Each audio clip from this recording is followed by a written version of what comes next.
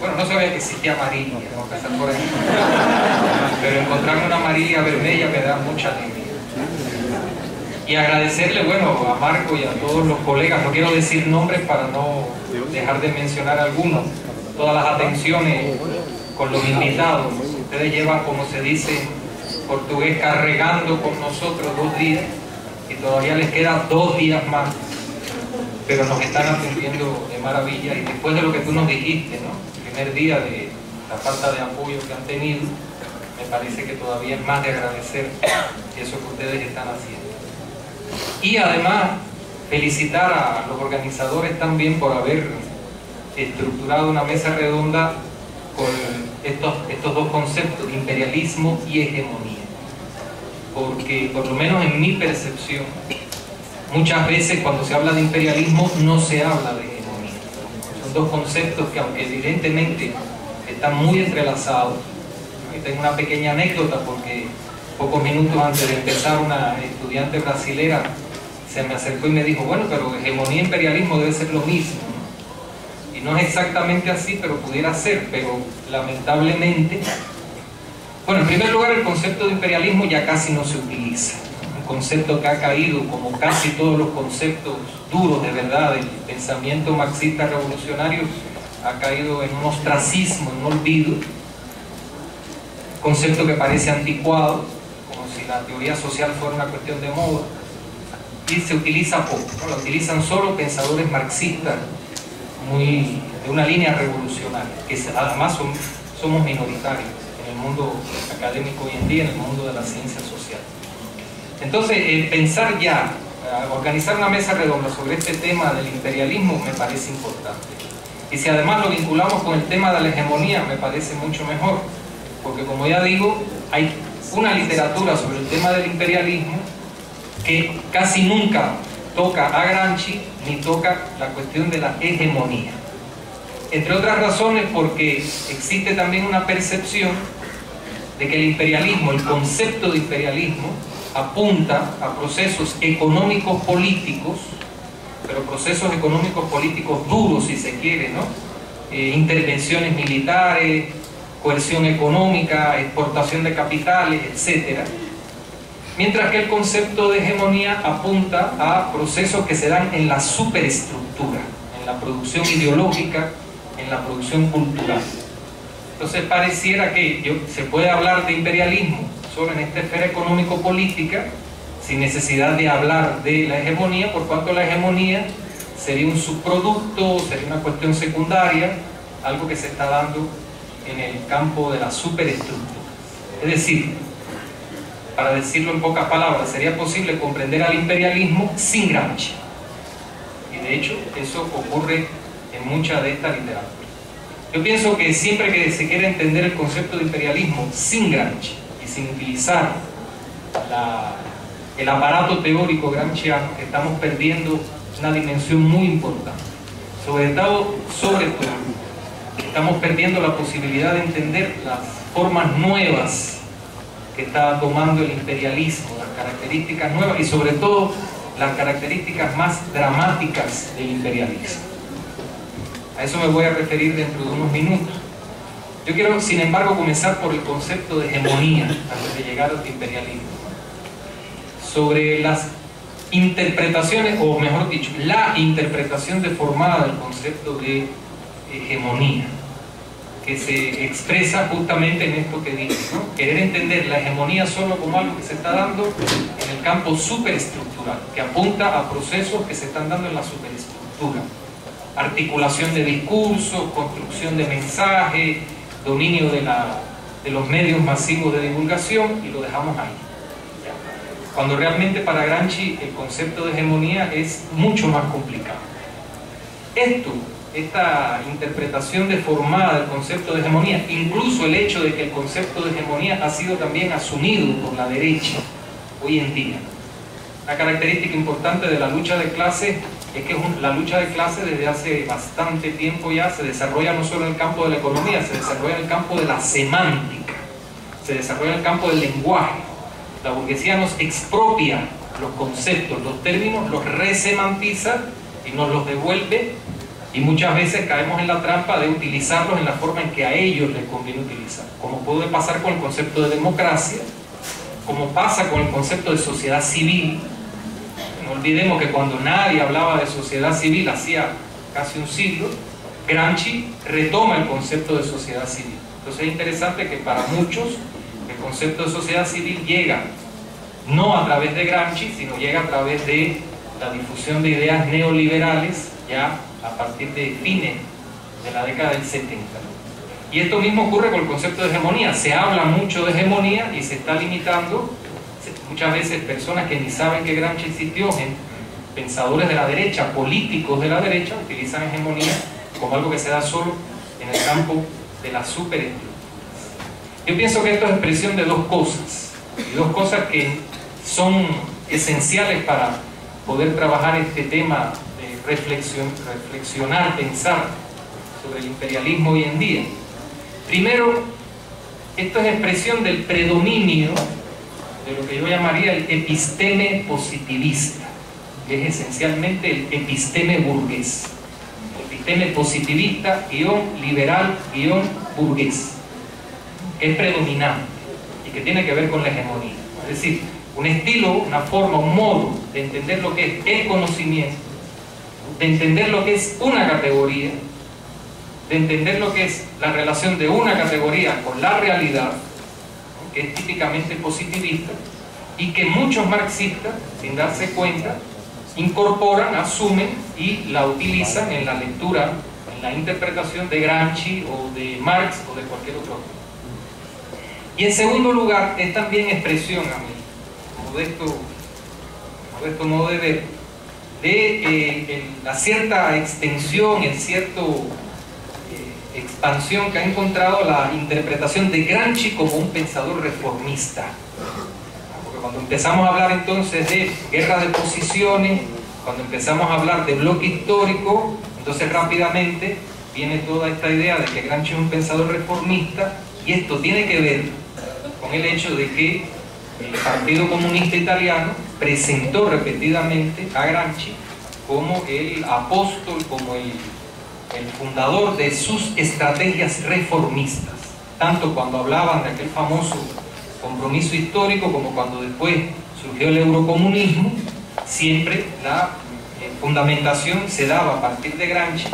Y como la recepción de la obra de Gramsci en sí misma es un drama, la recepción de la obra de Gramsci su difusión, primero en idioma italiano, después en, el, español, en el inglés, etcétera, ya en sí misma es toda una historia compleja. Muchas veces, y Máximo Modonés incluso el otro, hace una, poco, otro día hablaba de eso, ¿no?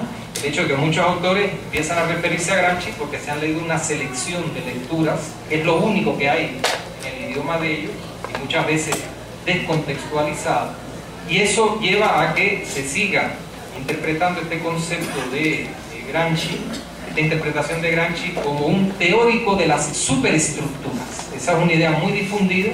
Gramsci es un hombre que habló mucho de la cultura, pero no nos dijo nada de la economía. Entonces, si imperialismo tiene que ver con procesos que se están dando en el campo de la economía, pues esto de la hegemonía como que no me hace mucha falta. Yo pienso que esto, a mi modo de ver, es dramático entre otras cosas, porque es también expresión de lo que yo llamaría un desencuentro entre dos líneas, dos líneas históricas del desarrollo del marxismo revolucionario. El marxismo es, es algo complicado y hay marxismos que no son revolucionarios, lamentablemente. Eso es un oxímoron, pero bueno, lamentablemente en este mundo ocurre de todo. Después que uno ve un partido comunista dirigiendo la construcción del capitalismo, ya cualquier cosa puede ocurrir. Entonces, eh, cuando simplemente estamos hablando del marxismo, bueno, el marxismo conservador, quiero hablar del marxismo revolucionario. Y hay dos líneas fundamentales, a mi modo de ver, en el marxismo revolucionario que surgen prácticamente en la misma época, en la década del 20, que están enfrentándose al marxismo positivista de la Segunda Internacional y al marxismo positivista de la socialdemocracia alemana posterior a la Primera Guerra Mundial, que se interpretan a sí mismas como, interpretan al marxismo como filosofía de la praxis y que surgen en dos, dos momentos fundamentales. Uno, a través de la obra de Lukács, por ejemplo, Karl Korsch en el universo alemán, germano hablante, la obra de Korsch de Lukács, sobre todo Lukács, Historia y Conciencia de Clase, que es una obra que todavía hoy en día sigue teniendo una repercusión teórica tremenda, que asume ese concepto de filosofía de la praxis, y también Gramsci, en otro contexto cultural, contexto cultural italiano, político italiano, esta línea de Lukács, que se centra en el concepto de reificación, va a tener un desarrollo posterior en autores como por ejemplo la Escuela de Frankfurt, en autores como Henri Lefebvre, Lucien Goldman, hoy en día en autores anglosajones, estos autores que se vinculan o se, se, denominan a sí mismos a través del concepto de Open Marxism, o marxismo abierto, que insisten mucho en la centralidad de el concepto de trabajo, de trabajo abstracto, de trabajo enajenado, y que centran su reflexión para poder entender por qué el capitalismo y la burguesía tienen esa capacidad de reestructurar su poder, lo que nosotros diríamos en términos granchianos, de esa capacidad hegemónica precisamente en los procesos que se están dando en el campo de la producción material de la vida. Fíjense que no digo en el campo de la economía, porque si digo eso, vuelvo a reproducir la dicotomía entre economía y política, campo de la producción material de la vida. Y lamentablemente la línea que arranca de Granchi, que continúa hoy en día con muchos autores que conocemos, algunos de ellos sentados aquí, ¿verdad? Italianos, etcétera, Carlos Nelson Coutinho, otros italianos, inicialmente Prestipino, Guerratana, Luciano Gruppi, etcétera. Es una línea que trabajó mucho la cuestión de la hegemonía, pero no se conectó con esta. Si ni aquella se conectó con esta, ni esta se conectó con aquella. Se trabajaba mucho, eh, estos autores granchianos han trabajado mucho tema de la hegemonía, por supuesto, pero no han conectado con esta otra eh, interpretación, por ejemplo, con un concepto, a mi modo de ver, tan importante como puede ser el concepto de razón instrumental. Uno no puede entender la hegemonía si no entiende que existe una racionalidad instrumental que tiene una fuerza extraordinaria porque es el resultado de los procesos de producción capitalistas y de las características del propio proceso del trabajo en la sociedad capitalista. Y lamentablemente, como digo, hay este desencuentro que incluso ha llevado a algunos autores del Open Marxism a expresamente rechazar a Gramsci. Bueno, esto de hegemonía solo puedo entenderlo como falsa conciencia. Y si yo pienso que la capacidad, de la, la capacidad hegemónica de la burguesía es la capacidad que tiene la burguesía de engañar al otro, me he quedado en un plano idealista de interpretación de la historia, porque al final todo se resolvería el día que logremos explicarle a los engañados cómo los engañan. Se quedaría todo ahí y por eso rechazan, lamentablemente, algunos de estos autores, por ejemplo, estoy pensando en John Holloway, que tiene una obra muy discutida, pero que a mí me parece muy interesante, hace eh, expreso rechazo a la teoría de la hegemonía de Gramsci. Está claro que si la hegemonía solo designara falsa conciencia toda la teoría de Gramsci fuera una teoría eh, muy limitada y muy parcial. Está claro que si el concepto de sociedad civil de Gramsci solo apuntara a un determinado espacio de la sociedad, la teoría de Gramsci sería una teoría muy limitada. Pienso que fundamentalmente es otra cosa. Es decir, y aquí hay un conjunto de conceptos de Gramsci que me parece que son fundamentales. Primero, el concepto de organicidad no es solo el de intelectuales orgánicos, que naturalmente, cuando hablamos de la organicidad de los intelectuales ya se está aplicando. Pero el concepto de organicidad es un concepto que Gramsci utiliza constantemente. Y hay un párrafo que todos conocemos, un fragmento, un pasaje, en los cuadernos de la cárcel, donde Gramsci dice la diferenciación entre sociedad civil y sociedad política solo puede ser una diferenciación metodológica pero no orgánica muchos autores, muchos lectores, muchos marxistas incluso no lo entienden. Y no entienden cómo Gramsci, para poder construir una política nueva, tuvo que, eh, construir una noceología.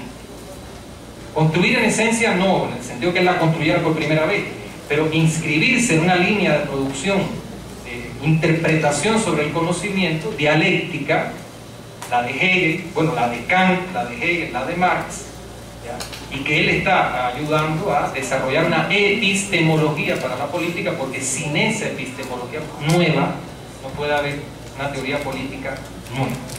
Entonces, está claro que ese concepto de organicidad es fundamental incluso para poder entender el concepto de bloque histórico. Cuando una clase es hegemónica, cuando logra constituir un bloque histórico. Y un bloque histórico es una relación orgánica entre los procesos de producción de la vida material y los procesos de producción de la vida espiritual. Dicho de una forma muy esquemática, pero es eso. Tiene que haber una correspondencia entre eso que podemos llamar base y eso que podemos llamar superestructura, que justamente Gramsci construye el concepto de eh, bloque histórico para eh, enfrentarse a esa división dicotómica entre base y superestructura. Una de las características fundamentales del imperialismo hoy en día, del imperialismo de hoy, es cómo ha logrado, y ahí es donde está, me parece a mí, una de las bases fundamentales de la hegemonía imperialista, capitalista, burguesa, es cómo ha logrado naturalizar la economía capitalista. ¿Qué quiere decir esto? Que hoy en día constantemente se nos habla de la economía en abstracto. Hay leyes de la economía, como hay leyes de la física. Lo que no nos dicen es que las leyes de la economía son no leyes universales de la economía, son leyes de la economía capitalista. Cuando se identifica mercado con economía, y entonces se nos empieza a hablar de los mercados, los mercados se asustan, los mercados se esconden, los mercados responden. Y ahí se está produciendo una naturalización que permea toda la sociedad, que permea incluso la conciencia política, que permea la conciencia académica, se está produciendo una, es decir, se están creando un conjunto de elementos mediadores para interpretar la realidad en la cual, como dice Perry Anderson, las demandas del capital financiero se naturalizan y se convierten en la gramática básica de todo gobierno hoy en día. Gobiernos de derecha y gobiernos de izquierda. A partir de la percepción de que esto es lo natural, esto es lo evidente, y cualquier otra cosa es simplemente una utopía y una locura. Es decir, para decirlo como lo dicen los economistas, y te perdona si hay algún economista aquí, si hay aquí, si hay un economista aquí, no es a eso a lo que me estoy refiriendo, me estoy refiriendo a nosotros. Son mayoritarios, el economista puro y duro te va a decir, como me han dicho a mí, le pueden haber dicho cualquiera, primero hay que producir el pastel y después vamos a ver cómo se reparte. Con lo cual el problema del socialismo, si es que eso puede ser algo, si lo es, el problema del socialismo es simplemente un problema de repartir un pastel. Pero primero hay que producir el pastel. Para producir el pastel ahí hay una teoría que parte de criterios, de conceptos como rentabilidad, competitividad, eh, valor, etc. Que son conceptos que quién se va a tomar el trabajo de discutir, están ahí, no es posible organizar la economía de otra manera y se naturaliza esa división entre base económica y superestructura política. La economía está ahí. La política es otra cosa. Usted puede ser más de derecha, más de izquierda, repartir un poco más, repartir un poco menos. Y lamentablemente, como digo, se ha convertido en la gramática básica. ¿Por qué?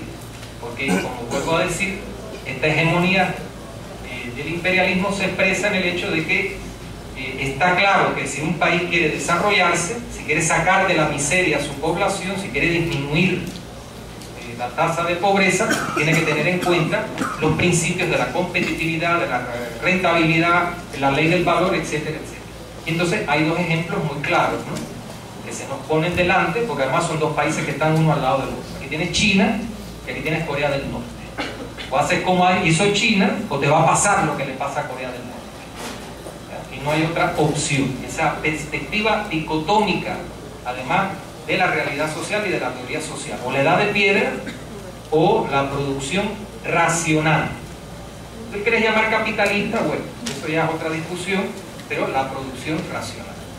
¿Qué quiero decir con esto? Que el imperialismo hoy en día evidentemente ha cambiado algunos rasgos con respecto a lo que señaló Lenin, puede ser de otra forma. Ya hoy en día no es tan importante la exportación de capital como la importación de capital a los países del primer mundo. Eh, no me saques el letrerito de los cinco minutos porque realmente me quedan seis.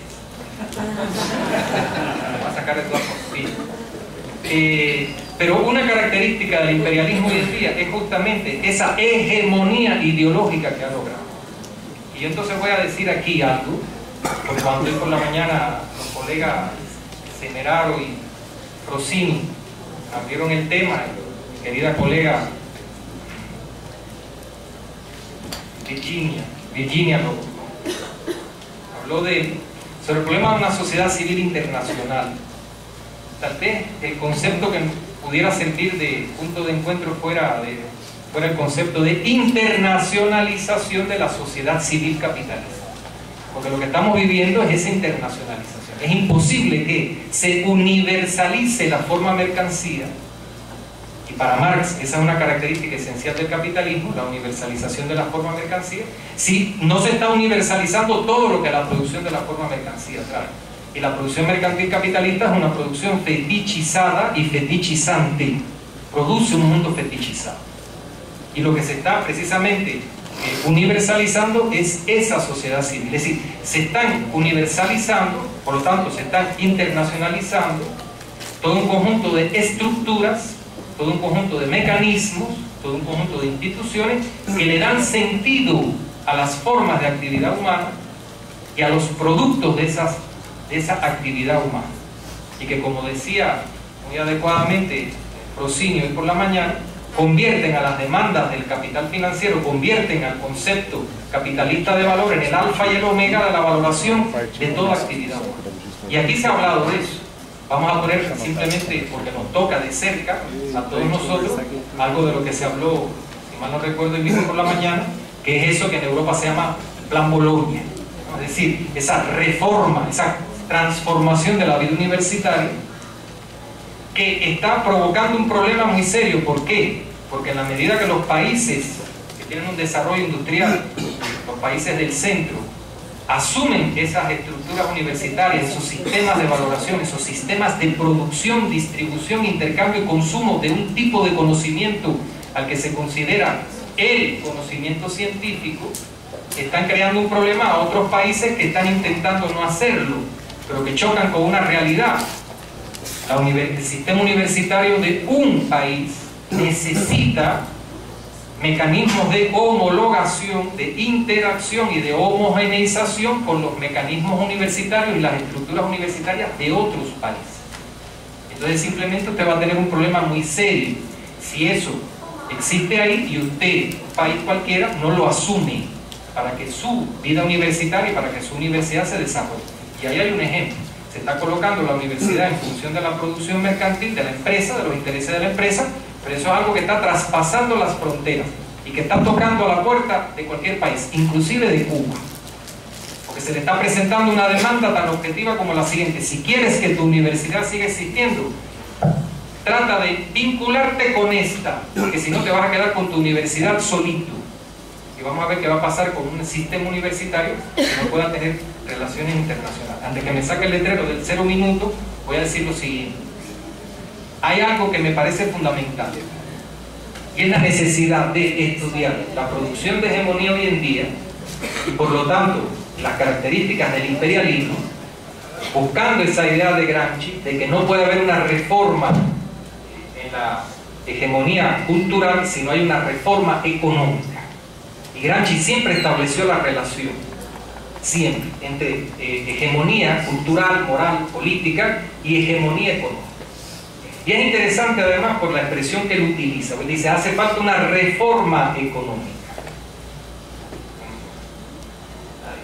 Esto es un problema de geometría, correcto. Eh, el, concepto de reforma económica sigue teniendo un ruido, bueno, no importa, es el imperialismo. Correcto. Bien. Que nos está queriendo eh, el concepto de reforma económica, la necesidad de producir un vuelco, un cambio en el mundo del trabajo, porque la esencia del capitalismo es precisamente el predominio,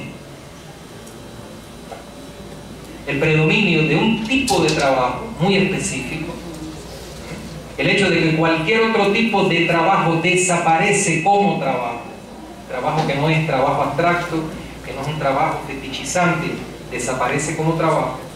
Y eso es algo que determinados autores marxistas hoy en día están trabajando y me parece que es importante que todos conozcamos y que todos trabajemos en esa línea. Yo voy a terminar simplemente leyendo un fragmento, un poco largo, pero me va a tomar dos minutos nada más de, de una teórica inglesa, Diane Ellison, donde ella dice lo siguiente.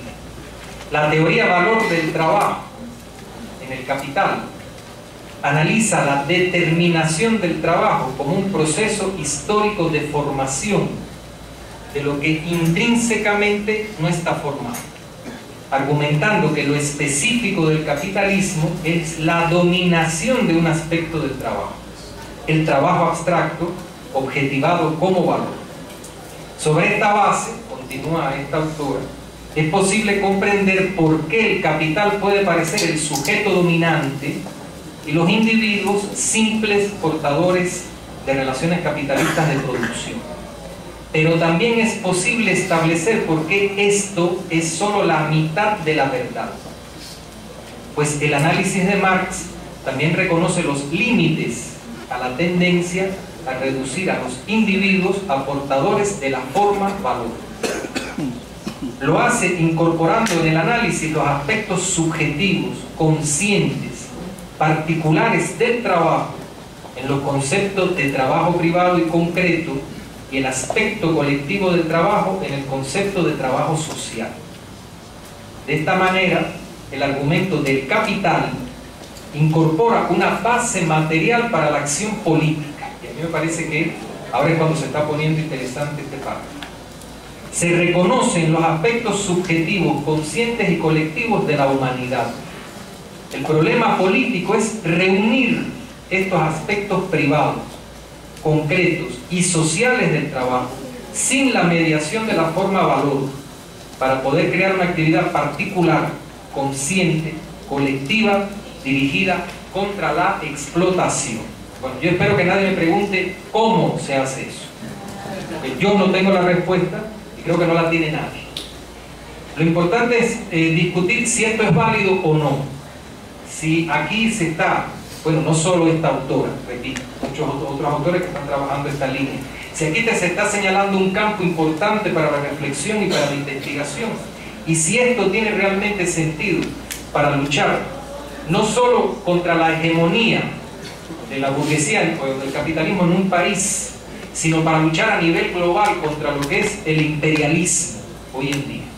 Si el imperialismo es también algo que se tiene que eh, rechazar, contra lo que se tiene que combatir en el campo internacional, pero también en el campo nacional, cada país, en las formas del trabajo y en la búsqueda de eh, organizar, de estructurar formas que naturalmente sean contrahegemónicas, pero que no se pueden quedar solo en lo cultural, que tienen que tener un fundamento en la, creación de una nueva forma o de nuevas formas de producción de la vida material. Que por ahí estaría justamente la clave de esa idea de Gramsci de que la reforma hegemónica necesita una reforma económica y lo que esto quiere decir. Entonces termino aquí.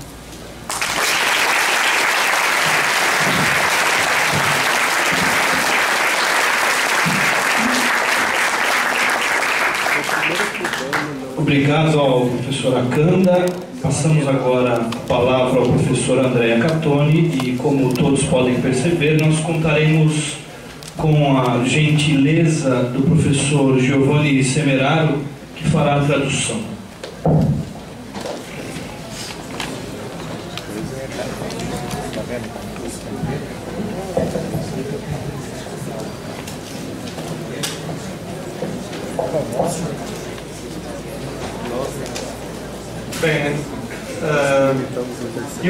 Ringrazio vivamente Marcos Del e tutti gli organizzatori di questo convegno che proponendo una discussione a partire da Gramsci sulle periferie e i subalterni ha il grande merito di suggerire una riflessione sulla mappa del mondo contemporaneo, sul sistema di relazioni reciproche che lo sostiene e sulle contraddizioni in esso presenti.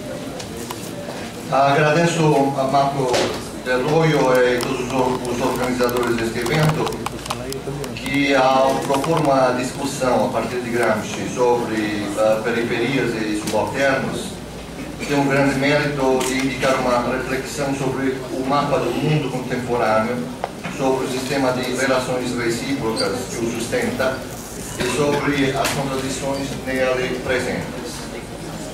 Quando pensiamo in termini di centro-periferia non possiamo non pensare a come si dispongono e come interagiscono nello spazio le relazioni tra gli uomini